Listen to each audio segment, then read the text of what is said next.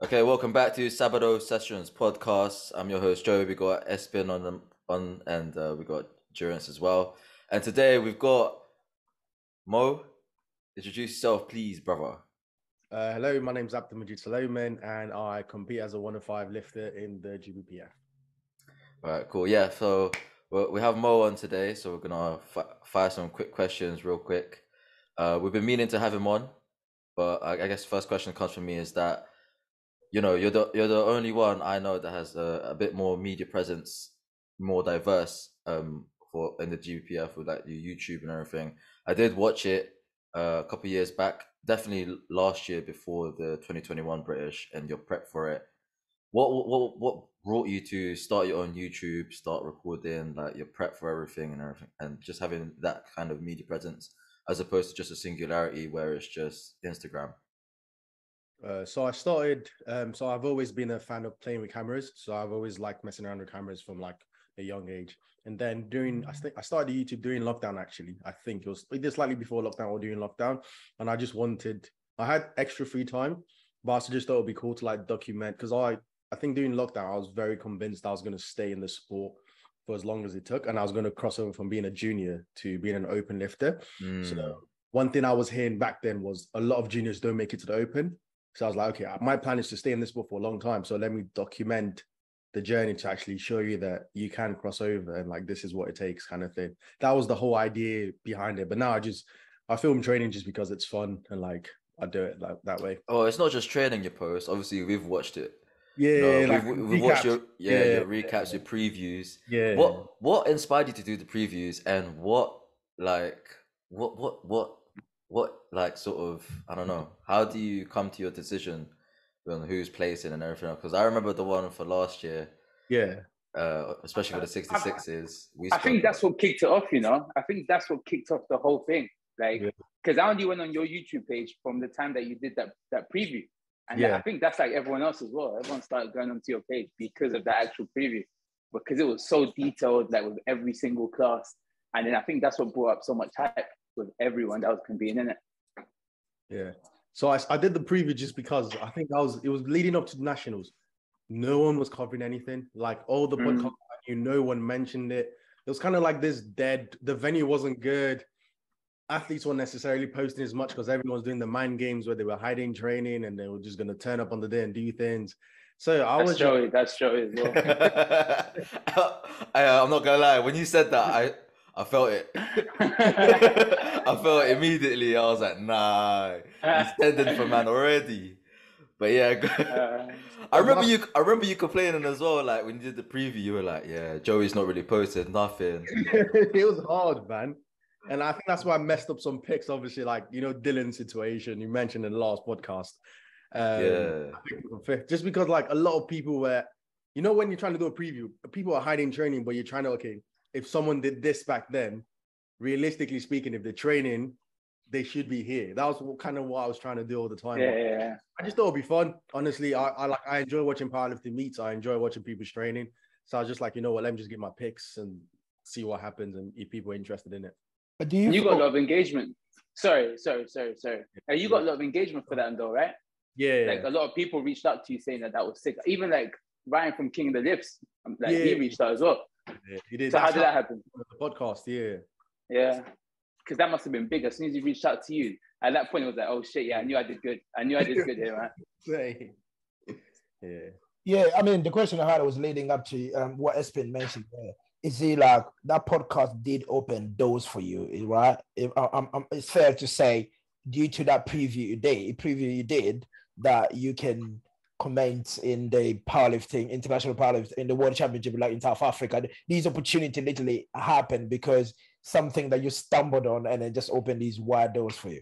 Yeah, that's very true, man. Like even Joe, I don't if Joe would have not known who I was if not for because she watched the preview and she's like, oh, that was pretty good. And then when I was at IPF4, she's like, oh, do you want to come and commentate? So Oh, is, is was it her that asked you first? Yeah, she was. I literally arrived Sunday. She was sat down and then she said hello. And then Monday morning, she just literally messaged me on Instagram saying, "Do "You want to come down? Like Ryan is dead from traveling." Oh, like, swear. So she just wanted you to good. sub in real quick. How was that though? Like, how how was that experience? But like, was it everything that you sort of expected it to be, or like, did you have any expectations? No, I didn't necessarily have expectations going in. Um, it was kind of it's different in terms of like when you're because I also didn't I commentated like the B groups. I didn't Yeah, A group, so I, I feel like the hype is a lot more different for those guys. of course. Yeah, yeah. But what I tried to do was like it's it's nice being behind the booth. It just makes everything more interesting. Time flies by like that. But also time can drag when you've got like a a bench flight that's just taking ages to get. through. Mm. Mhm. Not But- an easy thing to do, but it's interesting. My Yeah. question on that, yeah. Obviously, you mentioned B group, right? Like, what? Obviously, you're a lifter. You love powerlifting, but there Yeah. there are fringes that get sort of like, I guess, not ignored, but glazed over. I would say 'cause Yeah. it's the B group. Everyone's focused on the A group. Like, I'm when when I was looking at Durance's flight, I didn't know about who was tenth and below, bro. Yeah. Like, how how because it was B group. How were you with that? Because obviously there must have been some information. You must you must have been like, man, I might have to like waffle it real quick because I don't know nothing about these lifters, bro. So because it was short notice. Yeah, It sure. was, it was short notice, right? So you it only was had only so much time to prepare. So yeah, yeah, yeah. And it was literally every like I did Monday one, and then Tuesday morning I got a message saying, "Do you want to come down with the next one?" So it was kind of like just always. It wasn't like Yeah. necessarily structured. Um, with the B group, I, because it's IPF Worlds, the B group lifters are still good. Mm, That makes any sense. So like even in the B group, I think I commentated, was it the 66 or the 74s? mm. Guys who were benching 190, 180. So from that point of view, you're thinking, okay, these guys, even though they're in the B group, they can also potentially medal after the A group is done. Like Joe, Yeah. in this case, um, what's his name of the Canadian lifter? Oh yeah, yeah. He The pulled a massive deadlift, an easy massive deadlift in the B group, but also he was still King able- Cuff. yeah, King Cup. King That's Cup. it. Yeah, yeah, yeah. So the when it's there's some days it's long. Like I'm not gonna lie, if I was doing like um masters B group, that that would be uh that would be in the trenches. But the B group wasn't was still decent in s- majority of it. Yeah. Okay. So, me, I mean, I, I'll bring us a bit back, a bit back more. Um, I know you, you. This is, I think, this is your second year, if I'm right, right, as a um, senior. This is your Yeah. second year. Yeah. second- Um, go back to your junior years. yeah. You know, junior years, the big more juniors. So I saw you've done 93. Um, I was looking at your story there with the 93. There's this, something you posted on social media a few days ago. You said that people shouldn't be afraid to move up the weight class. Sometimes you've been thinking like maybe you're just restricting yourself in the weight class you are. So Yeah. what what what pushed you or what made you to jump up to that 105? my coach, honestly, he was my coach. It literally because um I started so my my introduction to powerlifting is very interesting. I didn't I didn't start powerlifting from like seeing anyone or anything. It was kind of like I was training in the gym at university, and then a friend of mine got invited to the powerlifting tryouts, and I literally just tagged along because I'd seen people scoring 200, and I was like, this is insane. Like, how do these guys do this? So that's how I found powerlifting. And then once I got to that, they signed me up for British unis straight away. So it was three months I had training, then I started training there. Oh, this was when um this was when British unis didn't have uh No qualifying total. qualifying total. That was Yeah, first. that was nuts. Yeah. I remember people putting in it like, yeah, I told a thousand kilos in the gym or some shit. Like, yeah, fucking stupid. But yeah, no, yeah. So you were saying, bro, like, yeah. So you did. So just remind me, what was the question again, James? I got sidetracked in my No, head. I said that what pushed you to like move to to change weight class. 105? So when I did my first compass in 93, I saw where it placed, but also I think my coach also saw the height of everyone else in my weight class. Like you could tell that based on because I'm six one, could Mm. tell straight off based on my height, you're not good. You can be a decent 93, but if you really want, and he's always been focused on long term progression rather than short term. Like Of if you course, yeah, yeah. he, he was just like, realistically speaking, if you want to be any good in this sport, forget the 93s, forget even the juniors. Your goal is to make it to the open one day. So that's where we're gonna train towards. She. Yeah. So, So the- wait, The, the goal, sorry, Joey. The goal was we have got the seniors coming up in terms of like my focus is to be a good senior. So a good senior as a 105, no as a 93. Yeah, yeah. So it was just like 93 is not for you, 105 is the one you should aim for. So we just decided because my second comp, I was only 94 and I ate that morning. So realistically, if I wanted to compete in the 93s, I could have, but it was just like, there's no point being here. It's like 105 is where you want to be.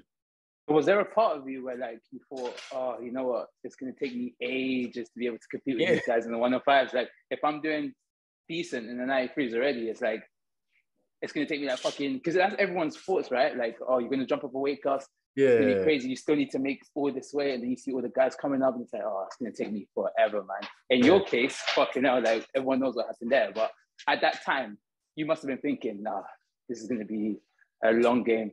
I thought it was like when he told me 105, I told him that because there's me, there's me and my friend, both of us signed up for the meet. We're living together, and he Yeah. he told him to go to because I think he was a very light 74, but he said realistically speaking, you'd be an 83. And then he told me 105 is your weight class. So I mean, literally almost told him fuck off. Like it's not happening. Like we're not. I can't imagine myself being that heavy. Um, but another thing that helped was when we started powerlifting, we did exactly. I wasn't like vying for first position or like fifth or anything. My first meet, I came 14th or 11th. Yeah, So, that's like- calm. At least you didn't come like 33rd or something. something like that. Like, so At least you didn't go- shit. And um, Brit- yeah, yeah, out. Yeah, like British unis as well, because I've I've seen like there's like Yeah. hundreds or like in the Yeah. high There weren't tens. that many 105s back then. I think I only like passed like five or six people. Yeah, But, like it was, I was so low that it didn't. If I placed 11th again in the 105s, I took that as progress because I've gone up a weight class and I still stayed. yeah, yeah, yeah, yeah. Of course, of course. kind of thing. So yeah. So And, and how long did it take for you to like decide, not not decide, but kind of like understand shit? This is a good decision. This is a good point. Like, was it quite far in, or was it Yeah. quite early? No, on? it was once I did my second comp as a 105. and which how was- long was that time period? It was next year. So I did one British Unis comp, and the next one was next year. I did a second British University comp. Um, then I competed against the 105. I think I came 11th again. So I, I think I was 14, then I moved to 11th. And I was like, I was able to increase my placing against guys who are fully 105s and also a lot older Mhm. than me. So I was just like, if I can slowly gain and improve, I'll be able to catch up with these guys, especially once I reach the 23 age mark. Mhm. was you looking was you looking at the um, senior rosters as well at that time, thinking this is where I want to go? Because at that time, I'm sure Yeah. in Britain as 105, we had Josh Greenfield was 105. Sam Yeah. Watt was still was still is still here and he was there still. And story people was looking at was looking at uh, Screamer Manuel. That's the that's the benchmark of 105 in Britain. Were you looking at those guys thinking that's what this is where I want to be? bro i'm telling you um so even though i say long term we wanted to get in the open i didn't have my coach has always been the person who's always had the numbers and being like you can get here this is where you go kind of thing. Because i started powerlifting a 200 kg squat was mad to me. So me thinking about squatting 300 that just sounded that's not even in my lane at all. So after that that first comp i didn't even know about nationals junior nationals in my first day in powerlifting like I just knew British unis, and my goal was to turn up for the next British unis kind of thing. Mm. Um, so it wasn't like I was chasing any numbers. I didn't know any records, didn't care about them because I just enjoy the sport. So I was just like, I've done British unis this year. I'll happily do it next year and like figure out what I can do to improve and get better. So I wasn't looking at Scream Emmanuel or Joshua Greenfield because to me they were another breed of athletes, and I was I was a tall lifter, lanky, they a lot shorter, very filled out in the frame. So I wasn't thinking about them at all. Yeah, Now you are where you are now, yeah. yeah. And I know we briefly spoke about this. Yeah. What do you think of powerlifting now as a whole compared to when you first like I don't know laid your eyes on it? Like what what what is its I don't know X factor if you will? Yeah. Uh, I, I'll say, do you want to talk about powerlifting on the whole, like Yeah, bro. IPF stage? or do you wanna Yes, yes. No, no, no. Let's go as a whole, because obviously whole. you've been at the world stage, so you've you've seen Yeah. every facet of what powerlifting is in America, in Europe, in the world. So what's what's your take, bro? I think it's, I think it's, it's, there's a, there's a lot of potential for the, because I, I think we're talking in DMs and you were talking about like people, some people are saying powerlifting is kind of capped in potential or Mm. dying out. And like when I got to Euros, the venue we're in, the level of lighting, the camera, the attention to detail, and then you go to IPF Worlds, the hotel you're in, literally the resort we're in, the Yeah. people actually flown you to go and compete in there. I don't think anyone was talking about this. Like SBD wasn't flying out anyone two years ago. No. It just started doing that recently. And like the reason why they're willing to fly lifters out is because they know that if we invest in these guys, they're gonna make us money long term. SBD is a business. They're not gonna they're not gonna spend money for free. They're not that they're not a charity. So they see something long term that they're they're willing to invest in lifters now. So I think I think things are just going to keep on getting bigger and better. SBD is handing out free gifts to juniors. You you win juniors and you wouldn't get anything. Not even the record, your certificate for your record you broke. So Mm. now they're actually giving 250 pounds worth of free kit to people. So it's pretty cool. Yeah, because uh, obviously the experience that Durance and I had was uh, far different from when when you started. Yeah. The, the lay of the land was very different. The names in the 105s, like like Durance said, was still Stephen Manuel, the Josh the Josh Greenfields, and now there's you, 105s, Mister Big Jump Pools, everything like that.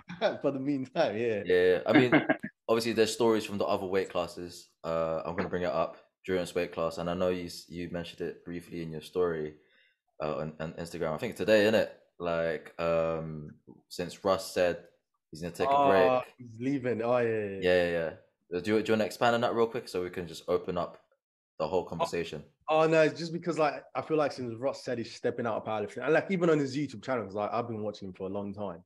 It's Mm. just ev- for some reason a lot of Americans are thinking the powerlifting is I don't know captain potential kind of thing. Like it's not. They don't think Sheffield is going to be anything worth it. Yeah, They think the Olympics is a pipe dream that's never going to happen. The IPF is in focusing on the wrong thing. So yeah. I, Yeah. I mean, let, us look at that now. I, be, I believe what I saw in your story was that someone on the YouTube, just for clickbait, they were like, powerlifting is dying out. yeah, yeah, All right. But let's look. Let's look at what we what we uh what we what we know, right? The the amount of junior lifters that are coming out, the the size of each nation and how many members they have, like in the GPF alone, it's still increasing. No, despite of there being I don't know the, the pandemic, it's still going on strong. I mean, there's people even after the pandemic that came out much stronger. Yeah. I mean, I'm not, I'm not gonna name names, obviously, but I mean, some some of them are in this uh, podcast right now. I don't know who you're looking at, but yeah, I hope you're looking at yourself. Bro, it's Um, not it's not the one on the treadmill, that's for sure. I mean, again, I think um, just on touch base on that little bit of the American thing. I think I know Russ is moving away from powerlifting. A lot of people talking so much stuff about powerlifting, but people forgetting if some of us knew know someone called Russ is because of powerlifting. Mm. Without powerlifting, I wouldn't know who Russ was. Right? Without powerlifting, I wouldn't know who John Haack is. You know, I wouldn't know who Ray, Ray William is. So when people are dissing the sport because they're moving away from it, they're forgetting what made you, what made you that global star. What made Russ global star is not his gym, is not is not what he does, his bodybuilding, it's powerlifting. That's that's why sometimes me personally it pisses me off when people diss this sport because they're thinking, ah, I'm gonna go away from it. I done my bit. Yes, fair enough. He's one of the best lifters of all time. We can't take that away from him, right? He goes, come back, probably gonna annihilate people again. You know, you gotta give him that to him. But for people to diss the sport because of that, I just think like it's not fair on the sport itself. The thing is, right? Russ has an influence, a huge influence in the powerlifting world. So does um, Sean Noriega, right? Them two, for me, I'd say they have a very, very huge influence. So it's like they could say anything. They could literally say, wait, I'm trying to give an example. All right, this is a perfect example. When Nori decided to, to do the mixed grip change, how many people do you reckon changed to mixed grip? Literally forgot about hook grip and went into mixed grip. 'Cause Bro, I can don't know. pretty much How, guarantee how do you you in this in this country, Uh, you pull hook, in- yeah. Yeah. in, Alright, cool. in in this country alone, right? I can tell you right now, a bunch of junior lifters changed to mixed grip, hundred percent, because of the influence, right? Because Russ said that you know he's going to leave the IPF. The thing is, if he has such a huge influence and people from this country alone leave powerlifting and go do another sport, the majority of people that are going to leave, are, no disrespect, are people that aren't going to do anything anyways, right? The people with low totals, the people that aren't really going to do anything, not really going to progress, or they're just not in it. You know what I mean? They're not really invested in it, and they're just going to leave. And when their favorite powerlifter comes back into the sport, they'll join again. Yeah. So it's just it's not really it's, it's not really gonna like do anything for us anyways. Like it's not really that deep to be fair. But and what I'm trying to say here is just pretty much like it's just crazy how they have such a huge influence in everyone. It's just we actually get to see who loves the sport and who's in it just for cap. You know what I mean? Like who's in it just for like all this fucking, you know, just to All post something on social media. Yeah, Sorry, all- clout. Yeah, my yeah, bad. all All the the, clout. clout. Like just to you know post all these hashtags on social Yeah, I- media. just What, It's what do just- you, it's what do all you think? Of, what do you think of that, Mo? Like, what what do you think of? Obviously, you've you're you're in you're in the u- your powerlifting universe now. You you can pretty much suss out like who's in it for the clout, who's in it for real, like Yeah. who's like and who is in this yeah to to sacrifice, to put dedication, to put like blood, sweat, fears on the line. Not say tears. I, I you know. Like, I don't. I don't want to see anyone crying because of the sport, really. But you know what I mean. I'm, I'm gonna Like- I'm gonna make you cry at the British though, bro. Put it that yeah, way, from yeah, from laughter, isn't it? But yeah, go on, Mo. Yeah, what what what what what, what do you Yeah. think of that? what Alex just said is basically that's it. Um, uh, I feel like what's happened is a lot of the people who was mentioned, a lot of them also, oh, well, the majority of the guys I've seen say powerlifting is dying out is YouTube guys. So guys like Silent Mike, um, Candito, Ross now, um, back one, Yeah, um, now hopped on the bandwagon a bit, and like majority of them, apart from maybe Ross, I don't want to say Candito. Back in his days when he was competing, obviously achieved a lot, but like since then, he's not necessarily been a competitive athlete. Mm. I don't even know who is that. Who, who's that guy? I don't. I've never heard of him. Johnny Oh. Candito. For real. I, I, And Leo, fair enough. then. He's the guy that came out with that Candito, like what's it called Program. intermediate program. Yeah, yeah, yeah. And it and it reached the powerlifting world by in waves. But anyways, back. I digress. Back to the point. Like the guys you mentioned, don't you don't you think like there's I don't know like there's some sort of a line or correlation with their relationship with the USAPL and obviously the USAPL split. I- I'm, obviously, this is all speculation from me. Yeah. But it, it just seems almost too convenient. You get me? Like Hmm. USAPL. also also also about that as well, Joey. Just so you know, these are people where they're they've been in the game for a very long time, right? yeah. and their audience isn't getting any bigger. So for them to post that is a huge clickbait. So it's going to make people like us now moving forward want to click on that video. An example, Durance. Durance didn't even know who that was. So now what he's going to do is most probably go on YouTube, search up the guy, and now watch his videos.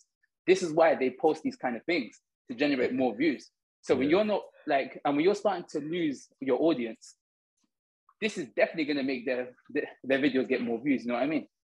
Yeah, it, So for them to post that, like a it makes day. sense. Yeah, Yeah, that's what I mean. It's, it makes sense, man. It's just it's all clickbait as well. yeah. And maybe but, they're just chatting shit. Who knows? But but what, what what what's your take on that, Mo? Obviously, going back because I'm all trying to circle this in. It's it's all Yeah. it's all gonna be cohesive now. yeah, You have that YouTube uh, presence. yeah. What's your take on A like very using- small YouTube presence. No, no, no. yeah. But it's still it's still presence, bro. I'm I'm Yeah. at this point in time, you still got more subscribers than us. So to me, to me, it's bigger. It's bigger than us in it. So it's big is big. You get me? Relatively. Yeah. What's so what's yeah. So what's what's your what's your sort of take on like using this clickbait thing to just I don't know increase followers, bro? Like that's what everyone on this platform does, isn't it? so you're op- so you're open to it, yeah.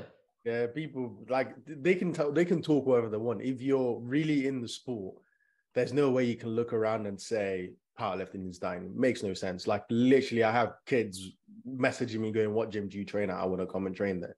So it's like no one's doing that. Like you've seen 14, 15 year olds signing for the first competitions. You've seen kids that normally will be built for bodybuilding or that will be bodybuilding in the gym going, oh, I want to learn how to deadlift. I want to learn how to bench. You've seen girls actually even doing SBD days.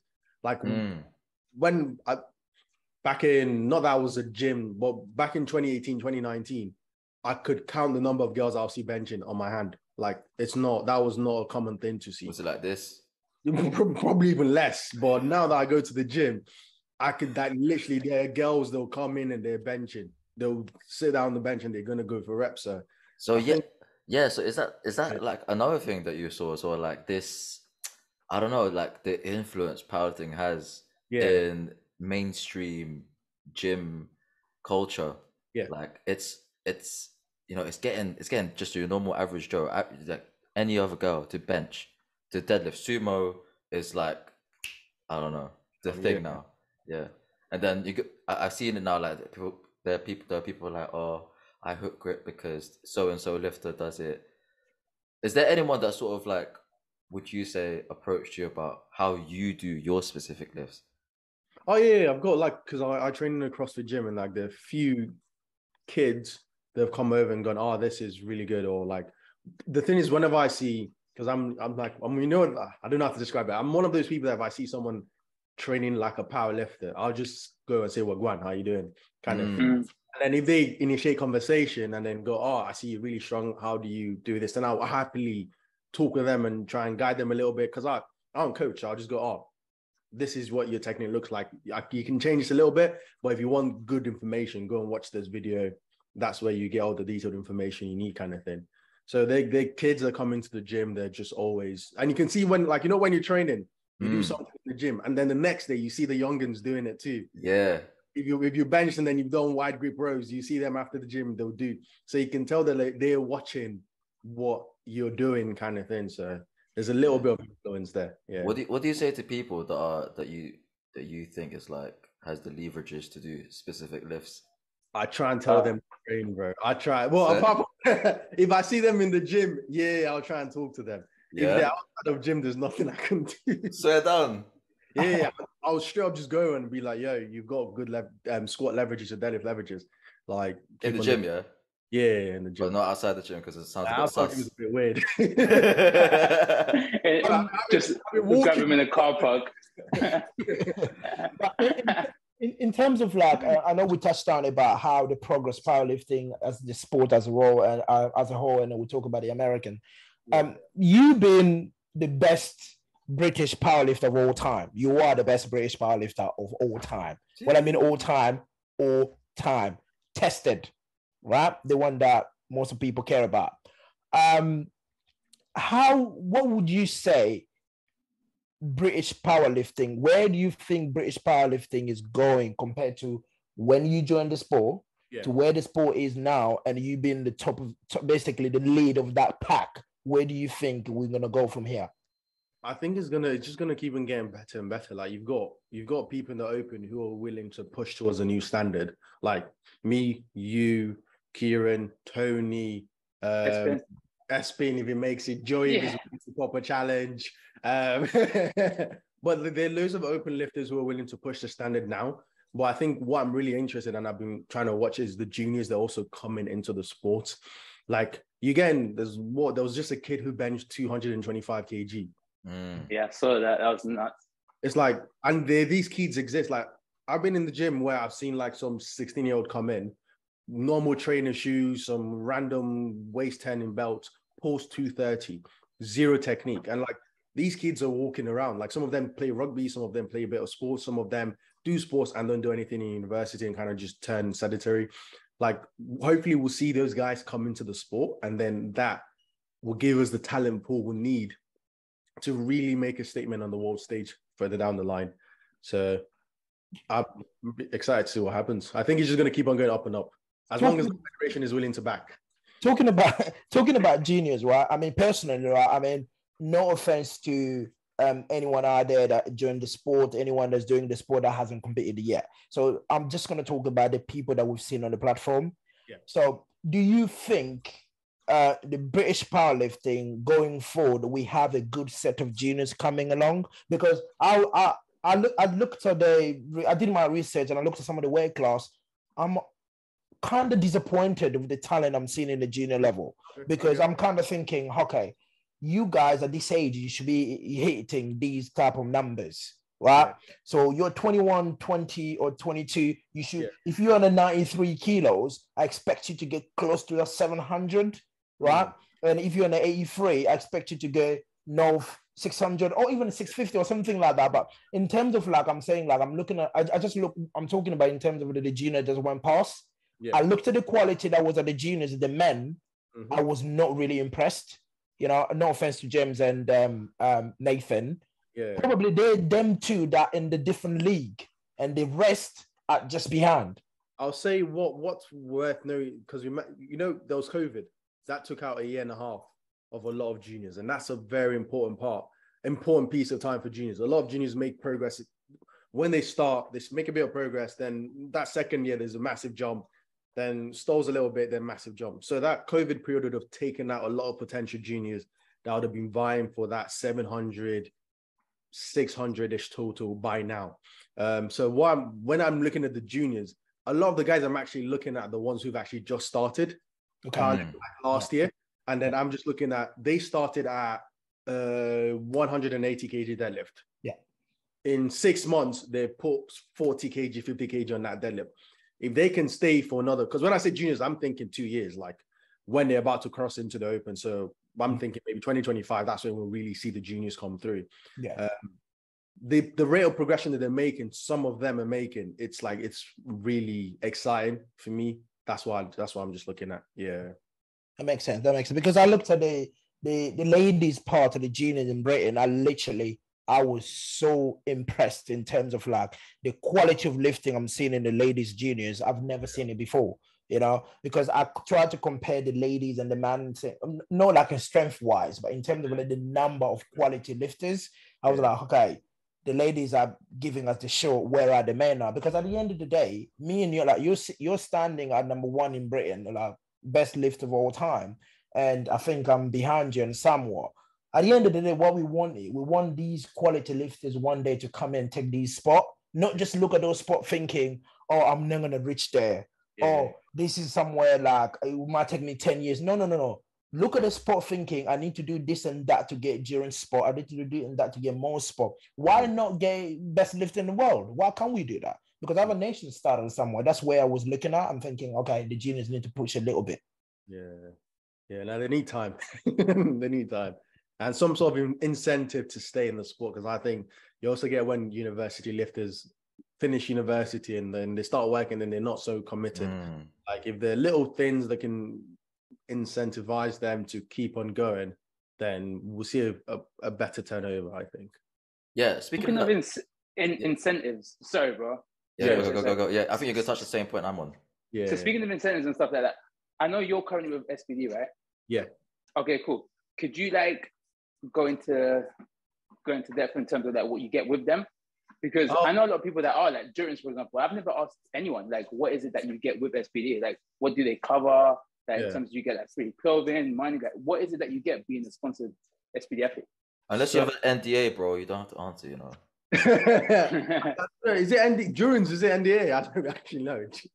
So all, I, Wait, hey, you all I- lot need to you lot need to all I revise this before divulging. You know. All I know is contracts that can be specific in terms of like uh, the individuality in contracts, but you can touch the base of everyone what they get. But some of the details you can leave it for them to find out.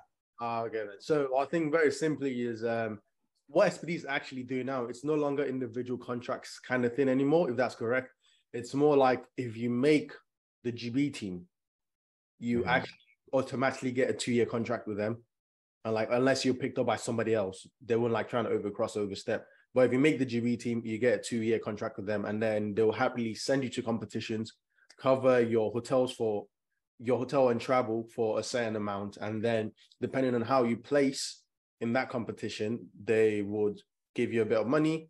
And then just like they're doing with everyone else who does really well in GBPF as currently, they're sending out free kit or training kit towards your next competition.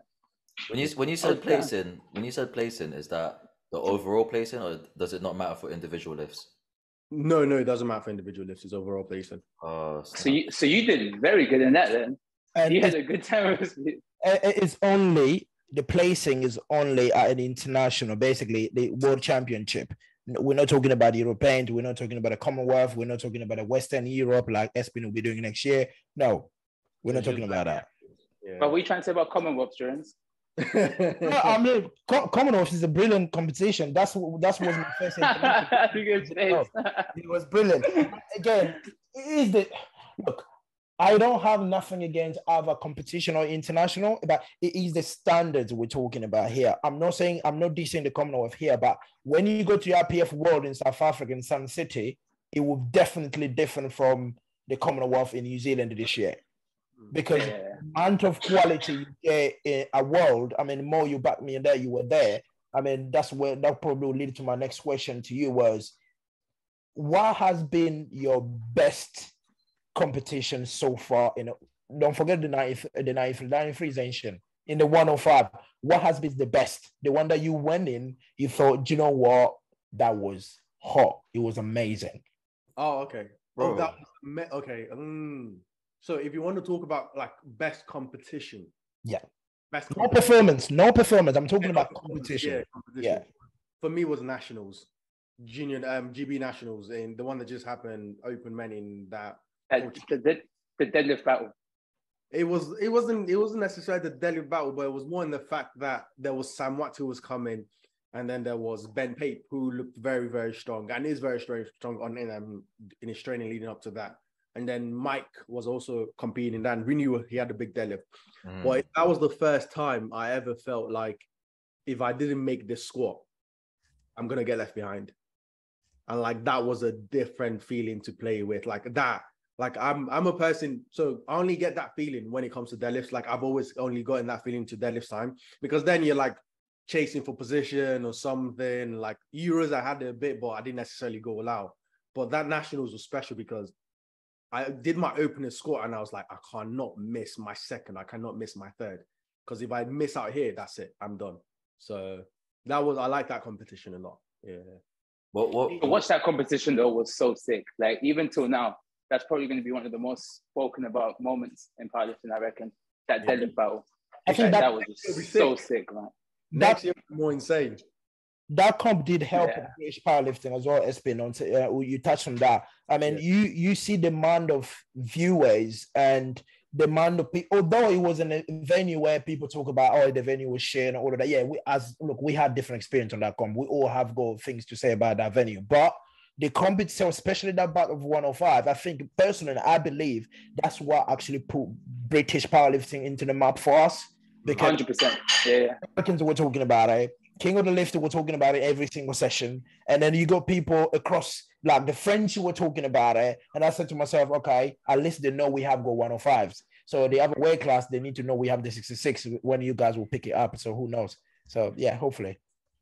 no, but, but but back to that though, Mo. Like Yeah. records were being broken, left, Left, right, right, and center. center, bro.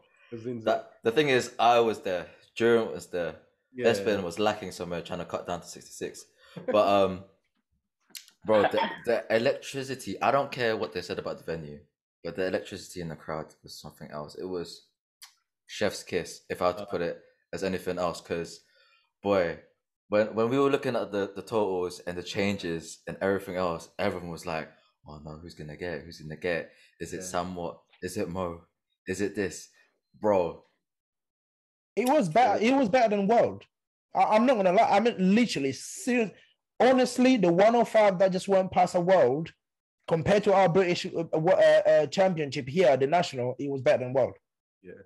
it was better. I'm not talking about in terms of like um the performance of people. I'm talking about in terms in terms of the comp. You know, the 105 that went past the World, we knew Emil was going to this one as a favorite yeah. right? Mm. to me, I said to everybody, even after the, I even said in, in front of Emil, I said, Emil was not a stronger lifter. Yeah. The performance of the day was Mo. Because he came in, no one was backing this kid off. Yeah, bro. No one, literally no one. Yeah. Like So no one, you know, I know probably we're gonna touch about uh, word uh, later on Mo. No, but let's touch it now. Let's touch it now, because when you did those jumps for deadlifts, bro, let me tell you, like I was watching it live and direct. I was thinking, yeah, no, he's doing nuts jumps. Is he like when you put it down? Not even before you got on the platform, but when you put it down, yeah, Yeah. or when who, whoever put it down, I was thinking, yo, are they like they're doing mind games right now? What's what is this? But what like what was your thought? Like obviously you knew what you had in you. Yeah. You knew what jumps you could take. yeah. But you must have looked around and were like, yeah, these motherfuckers don't even know. um, so I'll say in my sumo, my sumo deadlift has been a complete like we've we've been working on my sumo, changing things because if, you- if you know me, like I'm slowly evolving now. But like before, my first rep used to be terrible. Mm, Could do RPE ten single and then rep out the remaining five reps of RPE six.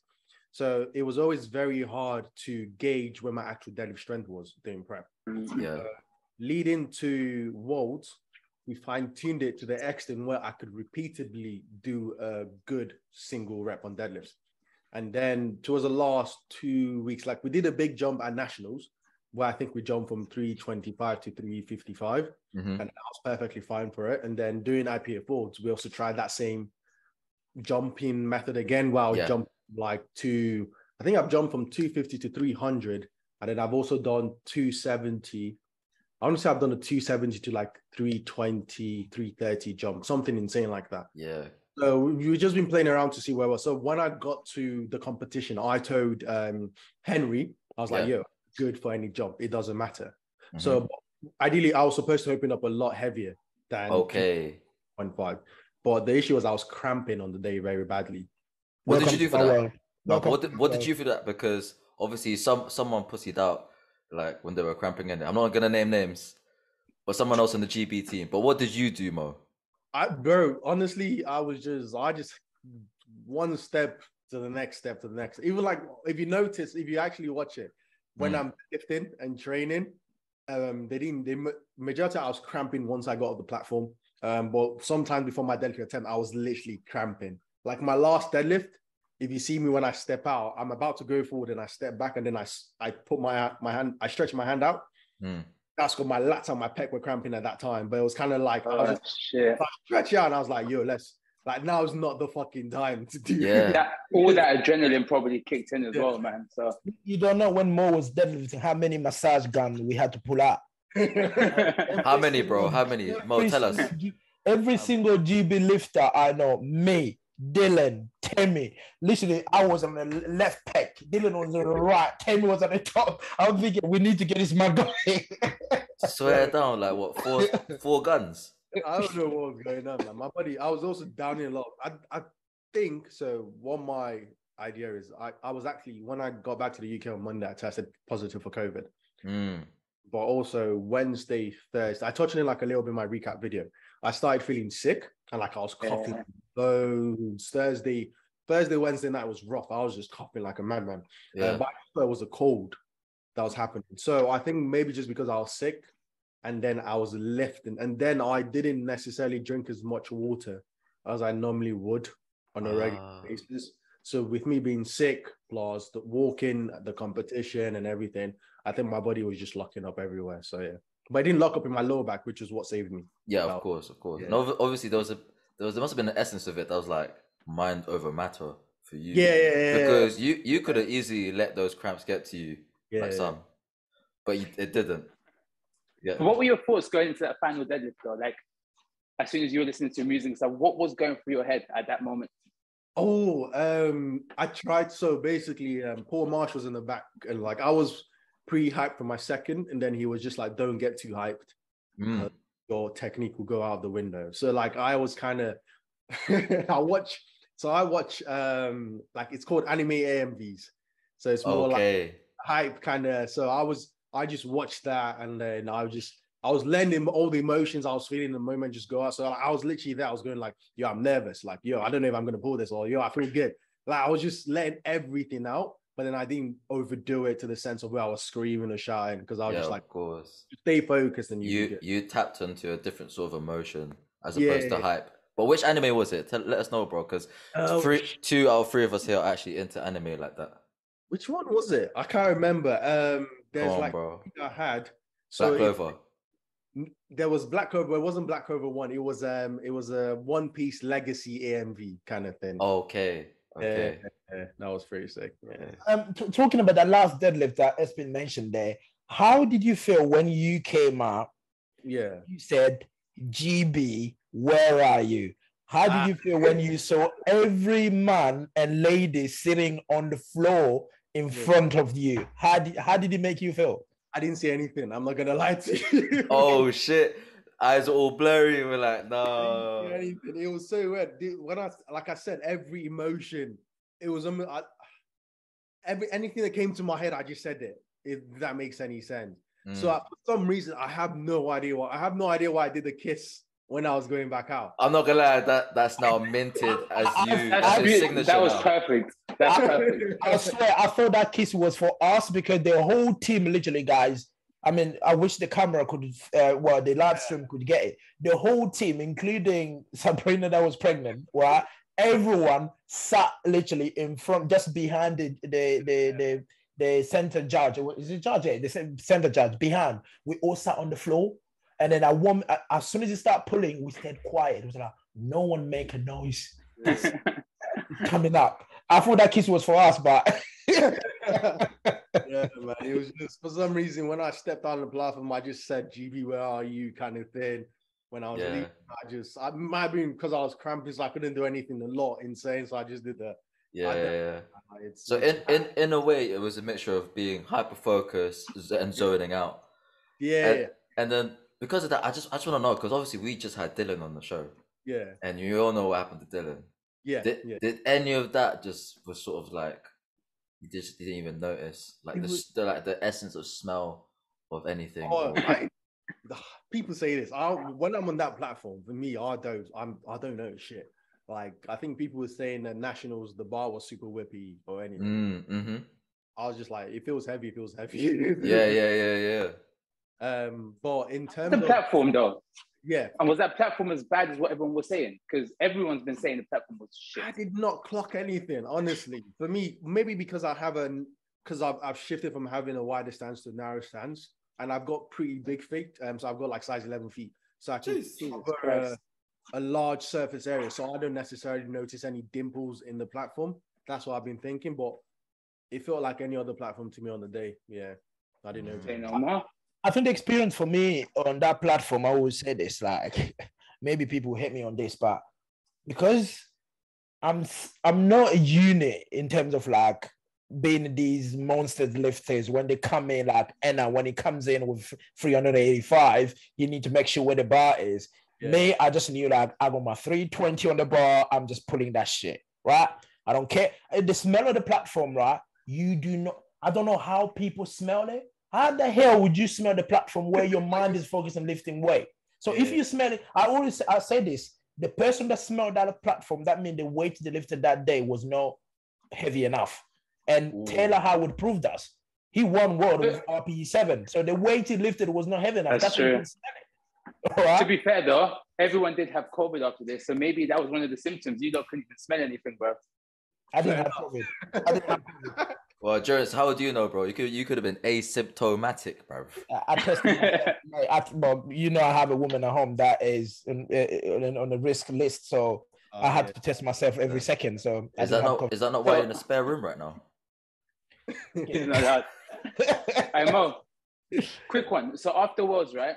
So afterwards, what was your like main thoughts after that? Like, was it to just you know, did you take a week off training, or did you go straight back into it? I know everyone's quite different.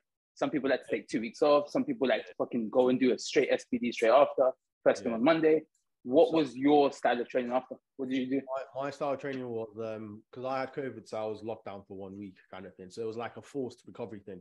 But like my cool. goal was after Worlds to take a little break um, during that period to just rest up because I've done nationals, I've done Euros, nationals, Worlds, within like very very short periods of time. So I was going to take a bit of break, but as soon as I got out of the break, it was kind of like you're in this weird little place where it's like, because I because I it was a good meet, but it wasn't necessarily the meet we had on paper.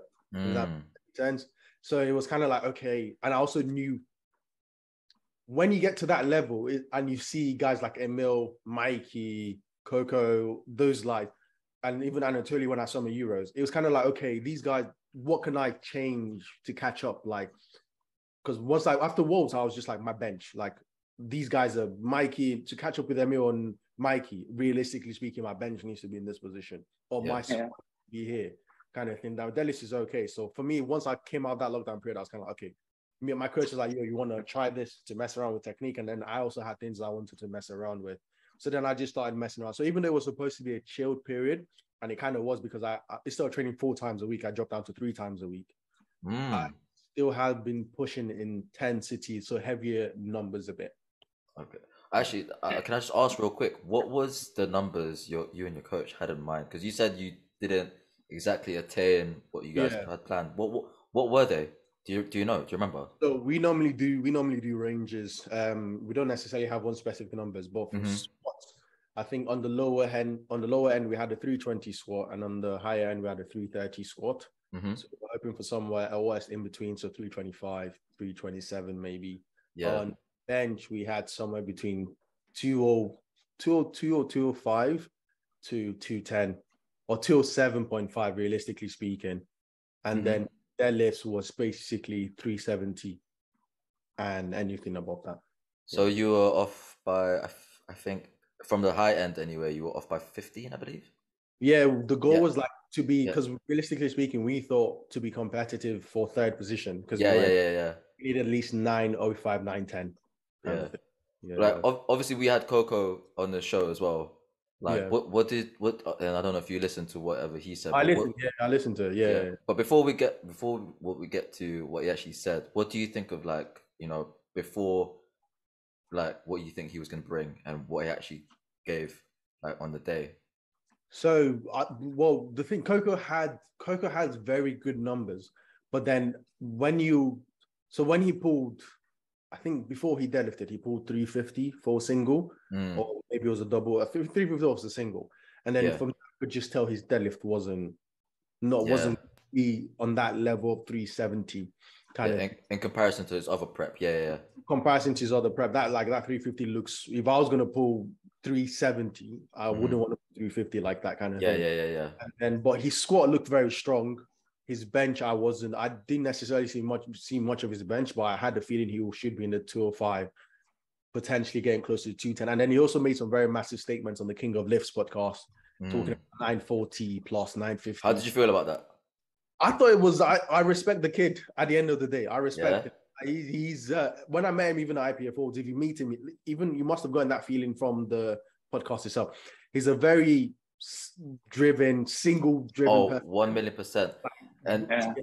that was actually the next bit that I was going to ask you. Like, obviously, he he said on the show his longer ever rest period was seventy two hours, if that. Yeah, That was that's insane. Yeah. obviously like what what- what's what's your take on that? Because you got COVID, you had to take more than seventy two hours. yeah. Took a whole week. Yeah, a whole week. Yeah, yeah, I normally do a whole week um, after competitions, irrespective.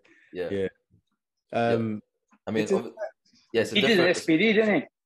He did an SBD after the comp, like Yeah. next- yeah, yeah. I was trying to get him to come to the pool. I was trying to get him to come safari. I was trying to get him to just do stuff. It was just like, Oh nah, yeah, nah. He said yeah. he said like he was just like nah. That was a shit performance. I need to. but hit- even before that, I was trying. Yeah, but he's just very driven. Yeah, More uh, now you've you've gone to world. Well, I know you're talking about. You spoke about you. The number you hit is not really where you wanted you to be, and all of that stuff. Yeah. Is it because the traveling, or is it because of world that you didn't hit those numbers? Because what is the difference? It is. I mean, I don't care what people say about world. I don't care what people say about powerlifting Yeah. until you are you do it, and then you know what world is all about. People watch world thinking, "Oh, treat world like any other me. Mate, world is a different beast. Don't Yeah. talk to me about world until you step on the platform of world. yeah. If you've never done it, don't talk about it. Just forget about that it exists in your life. So this is what brings me to the numbers that you guys thought. Is it because it's world and the traveling that affected it? Um, I'll say for me potentially it would have been the because so what happened was I think feeling so when I was going in for squats, I didn't necessarily feel as explosive as I would want to feel because my, I felt like my body was a bit, you know, when you're sick, you can kind of you just feel energy levels are a bit lower. It slowly increased throughout the day. So squats necessary. I think it was mostly just rather than the travel, the travel had its own implications, and then there's also the venue being in Worlds you're thinking about the meet, you're thinking about your performance, you're seeing Keiko, you've seen um, Emil walking down the street eating food. So you can't even sleep at night properly because you're just thinking all the time. And then also, like the GB team hadn't necessarily had the best start to the competition. So Mm. that was also slightly in the back of your mind, like leading up to your comp, leading up to your comp itself. So was there it was like, was it was that pressure for you then? Like a, a factor of, of pressure. So for me, like the way I just treated it was like irrespective of how the team was going, if I needed to drop my numbers, like I would, Mm. I'm not going six for nine or eight, like seven. Like I'll happily drop my numbers. Like I'll take Yeah. my today because like But, yeah, but like, was there anyone from the GB team that would you say like, ah, you know what, he stepped up or she stepped up? I need to step up. Uh, Durance went up. Before, Durance stepped up. The man came a day before his competition and came second. Yeah. So yeah, that was massive. Durance and Owen was a big motivation on the day, um, definitely. So that was really nice to see. I, I think uh, again, I think me and Owen, Owen had uh, this conversation. I think we're going to touch down on when we have Owen next. Yeah, When I landed in, I saw Owen. That was the conversation. I literally said to Owen, no matter what happened tomorrow, Mm. we need to bring our 130% here, right? Even if we have to die on that platform because we're lifting weight for GB team, we need because we needed the fire. Somehow the GB team needed that because after what happened to Dylan, because we didn't have no 66. So we started Sorry. at 74. Sorry, right? guys. So our 66 was still like doing step count in fucking the Queen Castle. So we started with Dylan. And after what happened, I said to Owen, I said, we had we are the starter now. People like Mo, um, Will, Adam Fuller, and even um, Ben Wharton. um, Ben. These guys are looking at us thinking someone need to step up. So we literally said, look, let's go out there and do what we need to do. That's what you see like Owen squad, that last Owen squad, right? If Yeah. that squad was in Britain, Owen would have failed that squad. Mm. But I think- because we knew he had to, you know, I had to get a number. So that's what actually pushed her to for that step up. But yeah, you're right about what you said. And what you mentioned when you touched that, when the team doesn't start really well, it makes you a little bit worried, thinking, oh my God, am I going to end up in a bandwagon again? Right? Am I going to be one of those guys? But again, we, you came out there, you, you you smashed it. And on that point, I had a bold question to ask you. You've competed against Emil twice, right? You've competed against Anatoly, right? Once. so, do you think at the Euros yeah. you can beat these guys? Realistically speaking, I don't. So for the way I look at it, it's um, Emil's had a kid, like you know yourself. Like you know, when you've had a kid, there's a knock on the training. Like numbers are down, and for me, looking at Emil, I've seen. I was at Euros and I saw Emil squat, and the man's score is very stupidly efficient. Like that thing doesn't make any sense. So Mm. I, looking at his performance at Worlds, I know that's not his best version of himself. I know he can definitely push that a lot more, especially once the kid gives him the ability to recover better. Um, and Anatoly looks like a monster in his basement. I don't know what that man is eating right now, but the numbers make any sense. Bro, I don't think that's a basement. I think that's a bomb shelter, you know. Big man. Bomb That's a bunker. That's a Ah. bunker. yeah, a bunker even. Yeah, like that's Yeah. like levels. Does it That- not make but yeah. but do you reckon then? So in conclusion, is it a yes or a no more? Do you My- reckon? the, the when I can bench, so the way we have it with my coaches, if I can get my bench to 215 bench, then I enter the conversation. Without Alright. that, the conversation, I think. For those How guys. how far off are you right now? Are you around there? As of right now, it feels like I'm very far. I know there is there is the I think, Arnold. I, I think most playing games with us, you know. I think he's definitely around there already, right? It is. Um, I know there is the Arnold's coming, right? I mean, myself, I'm going to the Arnold, but I'm Yeah. going to use the Arnold as a springboard to the Euros, Yes. right? So I'm going to use the Arnold literally. Maybe I, I, I even talked to Joey. Probably I'm going to hit two attempts for every single lift. But when I said two attempt, I'm not talking about 250 Joey's squat. saying this is the first time. it may, uh, maybe? So, I'm hit two attempt for each lift. But when I mean two attempt, Yeah. I'm not talking about 250 squat or um 300 deadlift. I'm talking about I'm gonna make big jump, but two attempts maybe. But it's just a springboard for the euro. Is it that the the the the same mindset you have you and your coach, or you want to go hammer at the um Arnold? No, no, because the way the the way that Arnold is, you've obviously got Chance Mitchell and Anatolian. Like you, that's a hard catch up. And then I've also got you, Christian, James Adcock, all behind, also who want to go for that third position. So what our main focus is for Euros is um, not Euros, sorry, for Arnold's is to see what we can do on squats and what we can do on bench. And then deadlifts is not necess- necessarily the focus, and not we might not actually even push deadlifts at all. Like we'll train deadlifts, harm, And like depending on where Anatoly and Chance are, we'll see what happens on the day. And also depending on what the crowd is like, because you're gonna have like people like Arnold, if he turns up, um, Eddie Hall, a lot of strong men. You know, the crowd pretend depends on where I am in the competition and also who's in the area and vicinity and kind of thing, what the crowd is like. Maybe you go ham. But the main focus, really, realistically speaking, is my squat. Can I actually pop something really good and then bench and then we'll take that information towards Euros and see from there. Mm. So there's, That's a valid point, you know. If you see Arnold Schwarzenegger staring at you, You gotta got show up. at. You gotta show up. I'm, you're Show- bumping up show that up. weight. show up and show out. Yeah. He's gonna be looking at you like, wow, 370, that's a bit mad still. I think, I think if, I see, if I see Arnold, probably I'm squatting 320. Yeah. Being folded in the back though, not gonna lie. At least, at No, least, but- at least I- I, I meme, innit? I meme that meme that attempted 320 in front of Arnold. no, but back to that point though. Um, obviously Arnold's it's not like a, a weight class sort of thing. Yeah.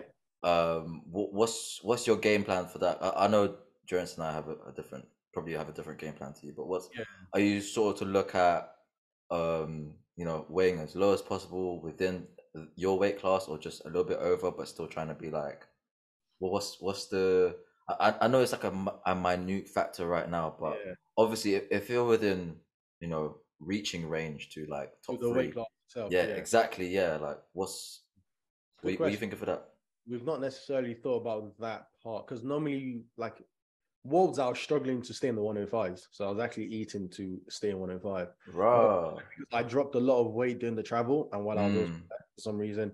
But um we'll see what it's like leading to Arnold's. Most likely, rather than actually, I've never actually caught. Yeah, I've actually never actually done a proper cut into the weight class. yeah So I'm, saying, I'm walking around 106, 107, depending on the day, kind of thing. And then normally, once it's comp week, I could easily reduce calories a little bit, increase walking activity a little bit, um, and like just see if I fall straight into 105. Yeah. But it's not going to be the focus as to of course yeah. I mean that's a good sign. I mean at least you're not on the high walking activity every week every day like some people. But i digress. Um like I, I was gonna i was gonna mention obviously you know we had james and nathan on and then they mentioned how your food intake was bro yeah, uh, and you just said now like you know you're still pretty much eating into the 105s yeah, yeah. like what what was it like before because they did say that you were i don't know you, you i think you were just playing games really with your food until you took it seriously like what what was it like before How do I describe this? I'm not. I don't.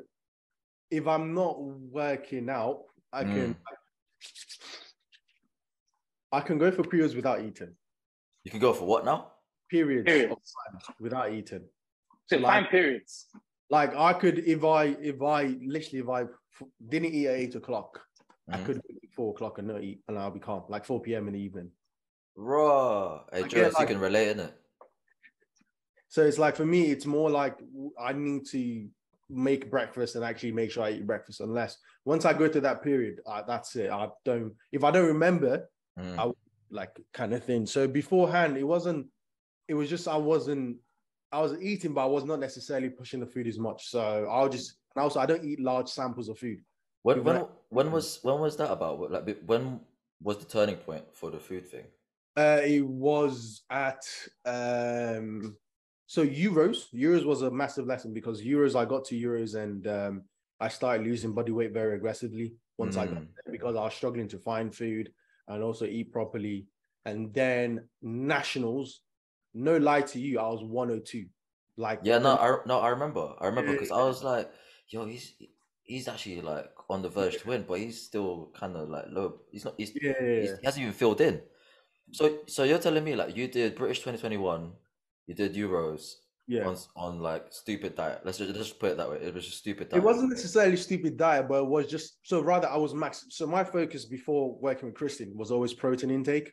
Mm, And then working with Christian, it was more like carbs is very important. My carbs was always stupid low because I eat like I'll eat a bit of rice, but then I'll eat stuff like couscous, yeah, which super low in terms of volume. So you can have a lot of couscous, but it's actually not a lot of calories in terms yeah, and like exactly. Yeah. like that. Like I wouldn't necessarily go my way and get like everything I eat is home cooked majority of the time. So when you're cooking all your food, majority you're not going to eat a lot of it at the same time.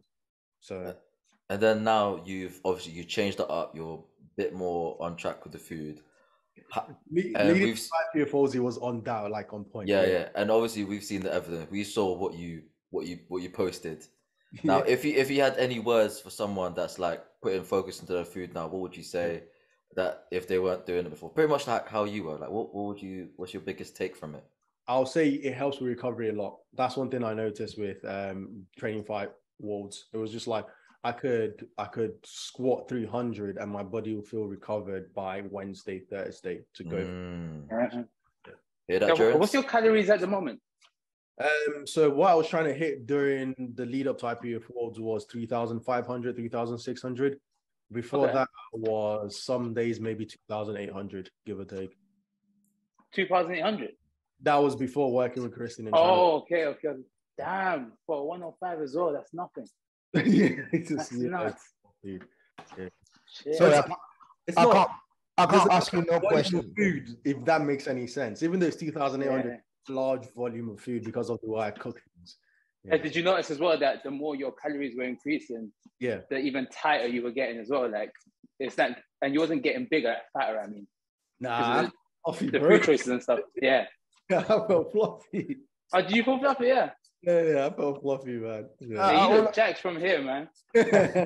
all, I, all I'm saying, I can't ask no question on nutrition, right? I'm I'm glad you gave the advice. Probably I've taken a note as well, because it was myself. Like was time where, as you said, that if I don't have breakfast in the morning, I would just have a banana and I go and train. And Yeah. when I finish training, I have a kid to put to bed to, so I don't have time to prep to prep for meal. Sometimes I just have a yogurt and I go to bed.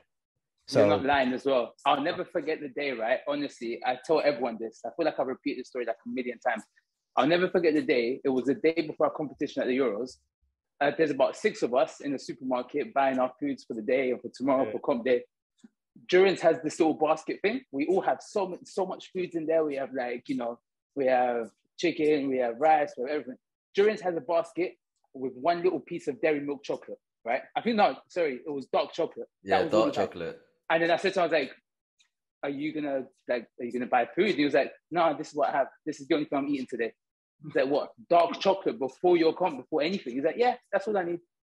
He's like, what the fuck? He legit just ate one bar of chocolate the day before his comp, and that was it. That's probably why he felt that dead. trust me, it's not happening. yeah. Believe me, it's, it's not gonna crazy though. happen. Crazy Um, day. well, man. yeah, So- well, in terms of like more in terms of looking the future i know um there's a sheffield coming Yeah. right? And in sheffield there is wild card right? I know let, let me finish this right? I know the wild card people thinking oh yeah world is where you get your place from sheffield. Yeah. people getting us being SBD athletes. We have the privilege of SBD picking what wild card they want. Mm. is this something you have in your mind or is it something you're thinking i'm going i'm joining Durance to go and watch I'm, I'm, I'm focused. Like, buy my feet, um, my popcorn, my drink, and then I'm watching. And then I'm being in Sheffield, man. yeah. So what about if you get a wild card I mean, that changes everything. If I get that's that's too mad for me to think about, to be honest. Because realistically speaking, for me to get a wild card, I'll need to I'll total Mikey Davies and prove that I have greater potential than him at Sheffield, and then also Anatoly. I also need to prove I have greater potential than Anatoly because they're not going to take three nine one hundred fives. That's insane. but you have that chance at the euro to do that yeah, bro. It's a sticky one, but uh, we'll see. because Mark David doesn't have enough opportunity to showcase what he can do against because Emil is qualified right mm-hmm. Ma- Anatoly is the main focus, to be honest. yeah so you have the chance at the euros to do that it's not something you and a coach you should probably think Yeah. Yeah, my coach has mentioned it. He's he's 100% mentioned it. And also he was we did the it didn't necessarily plan out that way, but I think I mentioned to Henry that we wanted to have the 95% for the world total because my coach wanted that to happen. So he wanted me to have 95% of the world record total by my second attempt on deadlift. So I think that's maybe might have influenced Henry's big jump. I'm not entirely sure. Um, but my coach has been thinking of that in the background. He he thinks there's a potential for a wild card. I don't think there's any chance. Um, but if I get the invite, I'll 100% turn up to it. Yeah, but then you'll mess up nationals because nationals will be around that time too. So I don't know how that will play out. Dispensation. no, honestly, yeah, no, bro. Seriously, dispensation. but then I think I think nationals next year will be insane. I don't know for 105s and 93s. Like we talked about this very briefly, but for 93s, you think it's locked off. No, it's not. I think I think there's six people who can vie for that top position, and same for 105s. Name names, bro. Name okay. The 93, right? The 93, I think, is a Top fi- three. It's a, it's a fa- literally is a dogfight in the 93s. But Yeah. for you, who do you think those top six in the 93? No, no, no, no, no. That's too many. Too many, man. We want to round out. Give us free, Mo. You're giving us free on this Top podcast. three in the 93s. Free. Top three. okay. And, Top and three. wait, wait, wait, wait. And I don't want to hear the whole. Yeah, but we also have this guy as well. That's kind. Of, we want to hear three names out of that mouth, bro. Hit us. Let's go. Three names. Off one. Do, do it. Do it in ascending order as well. Who's your third, second, and first? Ah, that's wild. Oh no, no, Yeah. that's Oh, wild, no, no, no, no, no, no, no, no, That's, yeah, that's too long term. no, no, no, no, no. We're, you're here now. You're on the I'm hot seat. Based off everyone's training numbers now. Okay, cool. Go on. Go on. Yeah. But um, if I was so okay, can I do A group top three and then B group three? No, bro. Just A group. Bun. Three Bun B. names, my bro. Bun B. Jeez. Okay. Bro. So okay, the standard ones you've got is um Not the standard ones. The one that you think the top three will be. Go on. Yeah. okay. Only three names, Mo. Jeez. Do you want to get some water, bro? I feel sweat off your brow, cuz. Oh. Okay. Shoot. Um, James Hadcock has to make the list. He's Yeah. currently number one in terms of total. Christian Aidoku looks the best out of all the 93s as of now. His numbers are insane and everything has been sub-max so far. The third one is a bit sticky because you've got two potentials. No, no, no, no. Espen already covered this bit. There's no this, this, that, whatever. Who's your third, bro? He's pride in your eyes, bro. Hit us. Ah, okay. Okay, for third, I'll have to. oof. Man, for third, you have to go with with information so far. I'll have to go with Dapo for third. Jeez. Yeah, Dapo. Okay. So But- you Okay. quickly mention. No, right? no, no, no, no. No, move, moving on, yeah. Moving, on. Moving on. Let's go straight. Let's go straight to 105s. No, let's go. Let's go 105s, bro. Let's go 105s, bro. Moving on. You said the names. That's what we wanted. Nah, there's someone everyone because I the the reason why I missed this person off the list is because I haven't seen what the dead deadlift is at now. Okay. So, Christian, calm. Chris That's is a, because he's a is a well-rounded lifter. He's got a good squat, a good bench, and a good deadlift. Wait, wait. So uh, let me get this straight. Is Christian one, James second, Dapo third? Nah, well, I'll go with that. I'll go with that. Yeah, I'll go Yeah. with that. All right. Cool. Cool. All right, Cool. Say say no no more. more. All right. Cool. 105. Let's go. No, no, no, no, no, no, no, no, no, no, no. Wait, let me let me put this person in because everyone's sleeping on this, right? All right. There's Christian who's a for the 93s. James and Dapo are very similar in terms of they have a good squat and a good deadlift, right? Mhm. Although that, that Dapo has the history of missing his third deadlift, Mhm. and he's missed quite a few of them. Uh-huh. Christian is a well-rounded three lifter, squat, bench, and deadlift. There's another lift in the 93s, Adam Fuller, who's got a good squat, a good bench. He just needs to sort out his deadlift, and he's been making changes Yeah. He's just a think- sumo. He's just a Yeah. sumo. But might him there. we're we're not we're not trying to diss Adam at all. Yeah, We just want to we just want to know your top three, bro. And thank you for giving it to us. And now we can move to 105s. We can move to 105s. Obviously, the lay of the land, you know, there's you, Sam Watt, yeah. Ben Pape, uh correct me if I'm wrong, someone else. Thomas Driver, Yeah, yeah, that's it. and then there's also Aaron Hall. He's not competed in a long time, 250 bench, but he's not competed in ages. Um, Yeah. Kieran Cray's coach, yeah, Okay, okay. yeah. So that'll be if they, if everyone turns up, that'll be a dogfight, I think. And you said you'd rather do that than Sheffield, you said. Whew. I mean, what my what's my potential for winning money at? That's my that's what I'm thinking. World record deadlift. That's three. 390. Well, that's what that's 20 kg, bro. I mean, That's a long yeah. way. Yeah. Would Thanks, you ra- Peter. still, so yeah. you'd rather get 390 No, yeah, no, no. Sheffield, the British. Yeah. What? Sheffield is obviously more important. So if I if I got the opportunity, I'll go Sheffield 100. and then and then obviously you'll dispense British, yeah, and then and then someone takes your record from you. It has to be Sheffield, man. It has to be So Sheffield. do you when you look at when you look at the landscape in Britain, while we're talking about next year 105, you say it's going to be a dogfight. Yeah. Do you think these 105, the way you're looking at them now, and the way your training is going, the one that you're hiding from us, the one that you're not telling people, the way your training is going, do you think these guys have a chance? I think realistically speaking, I think me, Sam, depending on how he does at Masters, I think Masters would dictate how well Sam can keep on Uh, improving. No, no, no, Mo. I said, do you think these guys have any chance of beating you? The way your training is going, if you bring the real package of Mo at the British, do you think they have a chance? Yeah, yeah, yeah. I'm not, I'm not anyone out. Yeah, yeah. I That that's that's what we wanted to hear. Just a Yeah. yes or no. Yes or no. So they have a chance to be Mojeed. yeah. I think they have a chance to total in the 900 pluses, definitely. And I think that's what you need to. Totaling 900 is not beating Mojeed, isn't it? You total 900, Mojeed can total 920. Yeah. And Mo- Mo's being extremely humble after that 93 chat. So, wh- so your top three for 105 next year, um, you said yourself, Sam, and Ben Pape, right? I'll put Ben over Sam. Yeah, I'll put Ben over Sam. Oh, yeah. Oh, wow. You do know Sam Ward take things personally. I know he takes. I know, and I love it. He's gonna he's gonna watch this. He's gonna come next year and we total 950. I'm looking forward to it, man. That'll be insane to see. I love that. I love the competitiveness in him. It's insane. It does push us. You know what I mean? You can't say you you've never been pushed by Sam. Look, I'm a weight class like two weight class below Sam, but every time I'm on the platform, it's you that is look. You're number one in Britain, but you's not you is in my mind, or is not even Ade or any other 83. The person who's sleeping in my mind is Sam.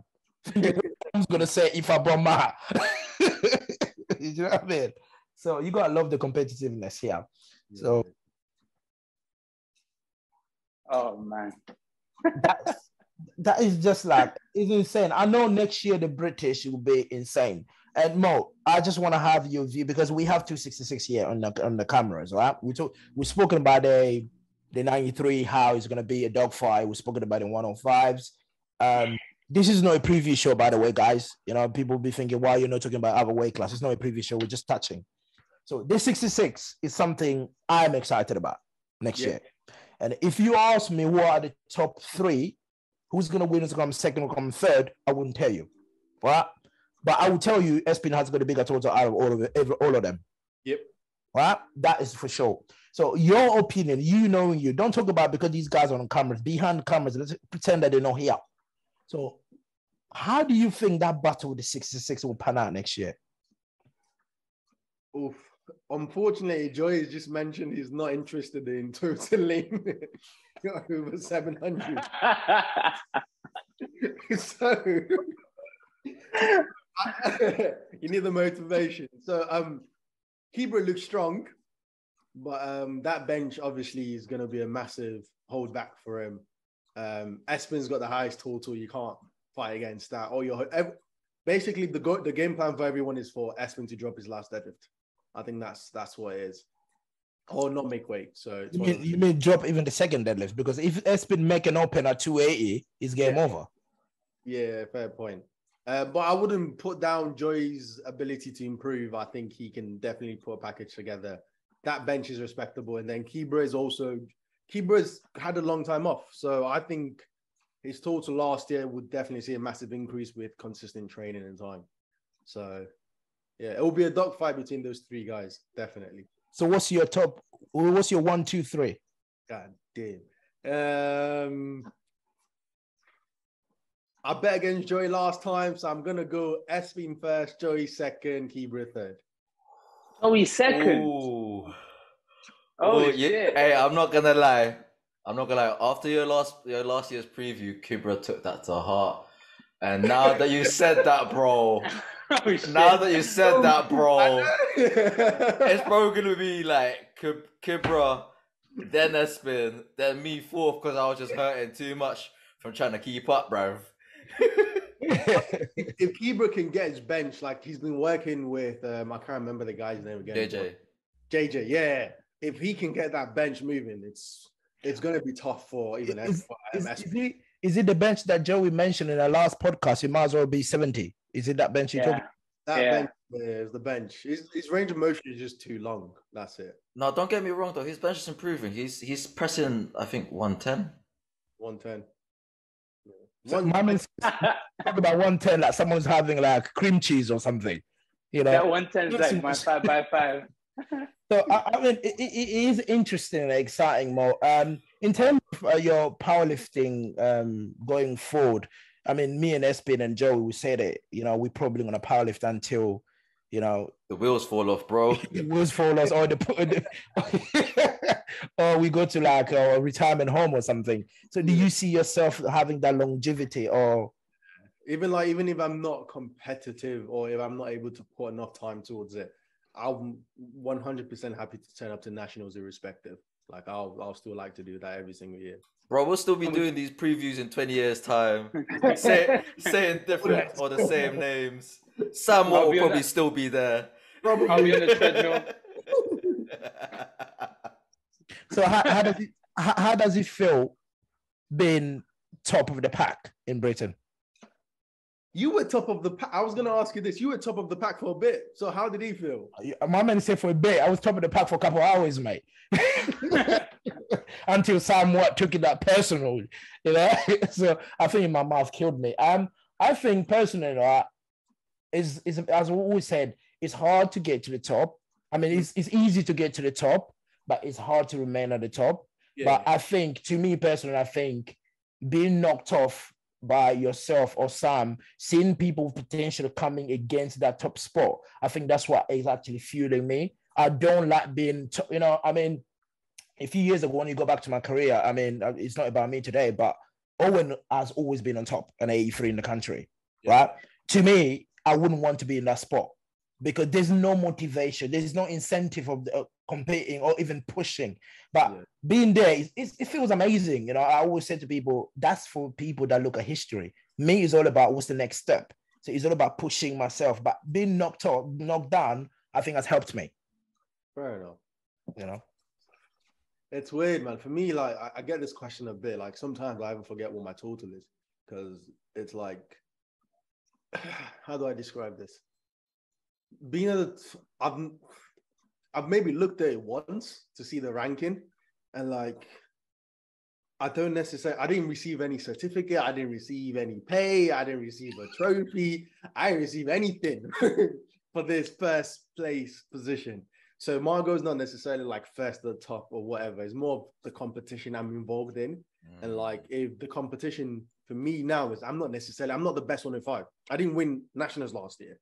Right. So for your case, you were the best at 83, and then you were also the best in the country at a certain point. And I also guess this would have been good to ask um, Tony Cliffe because he's been number one in almost everything. Like he's won multiple accolades. So I want to know what keeps him driving, what keeps him ticking. But for me, it's like being first is cool. Ideally, I think there are a lot of lifters who potentially can also get that spot based off IP. It's all IPF GL points, and it's a point system that can change at any point. Mm. But I, I still have to climb the 105s. Like I'm realistically speaking, I'm still within that top five. I'm not within that top three for 105s. So that's where my focus in is more of just climbing that 105 ladder as much as possible. And then if it comes to competing at IPF GL points for top in the country, when I'm at that level, I can really enjoy doing that that competition. Yeah. so there's still more. There's still more in you coming. Yeah, there's still more. Yeah. but long, but long story short, to answer your question, Durance, and Mo, correct me if I'm wrong. If I'm wrong. Yeah. You being at the top is just basically a normal, just another Tuesday. So hold on, you're answering my question. Have you been at the top before? no, but I'm, I'm just trying to summarize what he said. Okay, I'm just I'm just asking. what we said. I thought, I thought maybe you said Alright, you answering ju- my question. Just, just so, That's just so- savage. no, no, he's he's saying that, but he got toppled off by just next man, innit? Because he was chatting too much. But it's okay. No, no, eh, the mistake I made. He came in on the day he was lifting. I was there as well, and he thought I was second in the country. He even said to me, "Oh, Durance, you're second in the country. Um, Stephen Manuel is still top. You could have beat Stephen Manuel if you added more kilos. If you got your last squat." I was like, "What's Stephen, uh, Stephen Manuel point?" When he told me, I was like, "I smashed that, mate. Yeah. I did not beat that. I smashed that." He was like, "Oh, for real?" And he took his phone. I was like, "Oh shit." I'm gonna have to dev six uh, 367.5 kilo. Surprise. Sam is an interesting guy. so yeah, it's interesting. Again, I mean, Joey Espin, you say this, right? When you have competition in your weight class, sometimes it's exciting. It pushes you to work, it pushes you to go to the gym. And even your weight class, if there's no competition in your weight class, you start looking at weight class above you, right? That's where the I- IGL point probably. But I, I mean, no offense to the AE3. I was going to the national this year knowing I will win. Mm. Right? No being arrogant. Owen was there. Um, Kunz was there. I knew Kunz would need. Four, I told Kunz he would need 400 deadlift to beat me at the national, right? Because I had confidence in my squat. Even though I missed that last squat, yeah, I got scared because I thought I was gonna die. But I knew two squat, one squat, and even one squat will win me the national because I'm gonna open with 280 and no one will come close to that. Do you know what I mean? So it's like that's why you see, even in the interview I did, I touched the weight class above. I said, look, I just want to be the best. Right? If I can't be the best in my weight class, if there's no competition on that competition alone, I'm gonna go above. How can I be the best in the, in the entire uh, weekend? That's why I mentioned that. People took some people took it really like uh, I was talking a bit too much and I was a little bit arrogant. But I was just saying, look, if I don't have competition on the day I'm lifting, I'm gonna look at the week, the whole weekend. Can I be the best? That's how it's all about. And I'm sure that's how you thinking yourself. If the 105 did not have Samuel and Ben, you probably be thinking, oh my god, I can't let Durance beat me here. You know, oh, but even though How Durance I get to the 120s in terms of total kind of thing. Exactly. That's how that's that's the mindset. And then you two probably Espin and, and Joey. I mean, don't think about the 74 total, but you're probably thinking, can we get more point than the 74 guys? Right? I mean, I, I beat Dylan before. I can beat him again. But moving on. Woo! You weren't given that energy when that when that pod came out. Boy, you were like, I'm a Let me go to for Mo, though. 66. No, no, no. I did tell Dylan though, and you'll hear it. I did tell him that I'll be going back next year. Everyone knows that. This is only going to be a one year thing in 66 anyway. But Well, we, we not all about know, me. we- no, but we all know why you went to 66 and not to 83s. Ah, yeah, blah blah blah. I Mo, quick one though, because obviously you keep it very humble, bro. Even though you're like at the top right now, you know you're the guy to beat, pretty much. Let's be real. You still keep it very humble, bro. Like you know, like it's like you know you're you know you're the best right now, but yeah, you don't let that defy you. If that makes sense, But Uh, you just keep it chilled. But is there like a bit inside of you that's like, ah, these fuckers have no chance against you? Surely, because we're all like that, man. We're all competitive. Don't get me wrong. Like, what, like it's it's crazy to me. Like when people say, "Oh yeah, I, I compete in powerlifting or I compete in any sport," but Yeah. it's not that deep to me. You know what I mean? I hate when people No, say that because it's deep, if you compete in a sport, yeah, yeah. No, no, no. no. you're competitive, bro. Like you're competitive. You if, if you see someone coming very very close to your total, you're like. "Oh fuck that! You're not getting close to me." You know what I mean? yeah, yeah, So for you, you must have you, you must be like that behind closed doors, right? They're like, nah, these fuckers ain't got no chance against Nah, so the way I look at it is, it's more like so when when people say I'm hum, it's not. It's more like because I'm comparing my. It's the level I'm comparing myself against because I've always slowly increased that comparison level just to like keep me grounded, I guess, into driving more. Yeah. So when I'm thinking top of the country is not necessarily winning me. If everyone in the 105s turned up, I'm not guaranteed third third place position, not even second place or first place. So I can't feel like the top dog when in reality my weight class I'm not at the top or could potentially even be close to the top. So it's like the total I have now is good enough to win me first place, but realistically speaking, it's not worthy of where my Mhm. competition is in the 105s. Kind of. I don't know if that makes any sense. No, no, No, makes it does, it perfect does. sense. But you're slowly progressing as well, man. You're still young as well, bro. So Yeah. you're still you're still Everyone climbing else up, man. still young though. Like Anatoly's only 26, 27. Emil's only 26. So I thought thought when you say everyone else is young, I thought you were talking about in general or weight class. Talk about your weight class. Everybody, People like us, you, we only have a few more years left. So I mean, again, I mean, I think I can I agree with you. Being top of the country, me even I always said, even being number one in Britain at the A3, it does not make me being the best Mm. because the best was in South Africa. That those are the best. How do you fare against people like that? And then if you can beat those guys on that day, you can perform, and then you can say to yourself, okay, I'm one of the best. yeah, yeah. That's the Fun enough, right?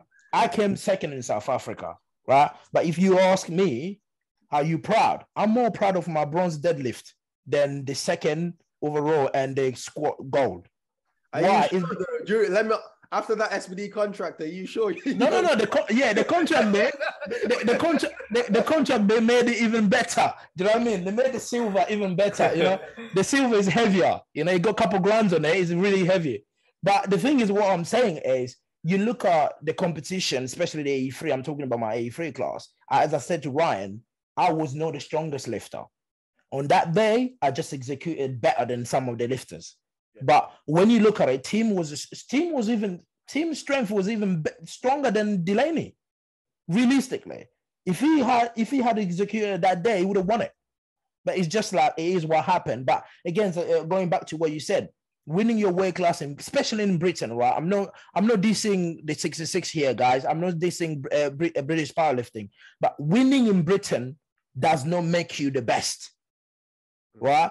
Or the best in the world. Probably make you the best in your country, the best in your region. But realistically, if you want to do powerlifting long term, you want to be competitive, as Espin mentioned, when you win in Britain, put yourself in the world stage. Where am I going to stay? If the, if as a 66, Espin win the British with 640, he's the, our best 60, 66, and then you put Espin a world, he's like 20th out of the 21 lifters.